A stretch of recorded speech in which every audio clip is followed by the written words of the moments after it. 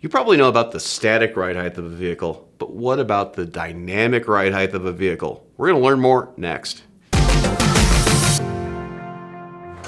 This video is sponsored by Monroe Shocks and Struts, home of the Feel the Difference guarantee. Learn more at monroe.com.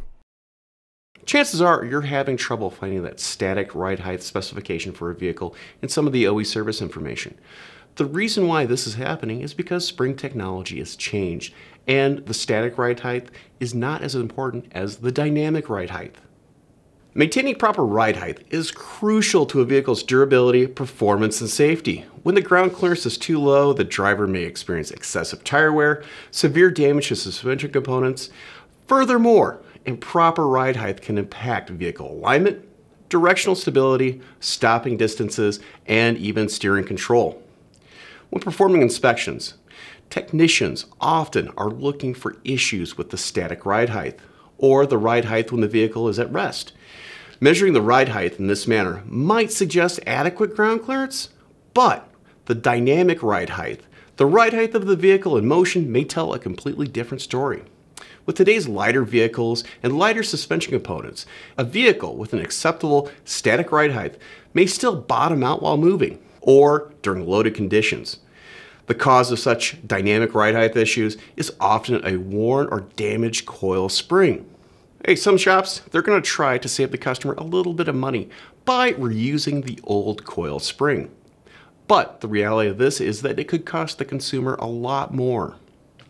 Static ride height is only to tell you so much about the condition of the coil springs.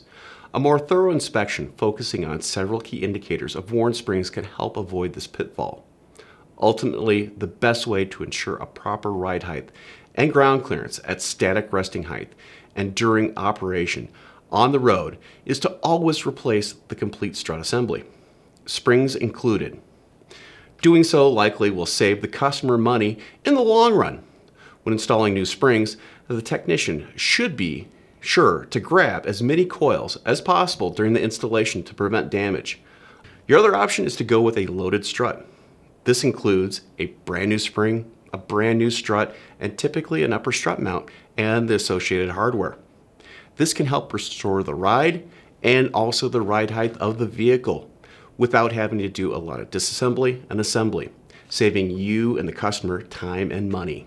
During your inspection, what are the signs that the dynamic ride height and the coils are bad?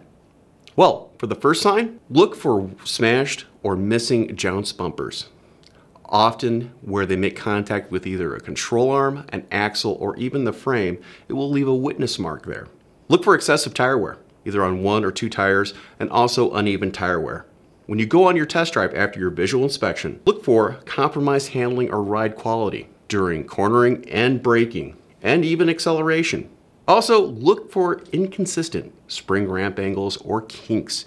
You may want to compare a spring side to side to see if things match up. Look for excessive sagging, leaning, or swaying, especially when the vehicle is loaded. If you're having trouble finding that static ride height in the service information, you need to perform a dynamic ride height inspection on the vehicle.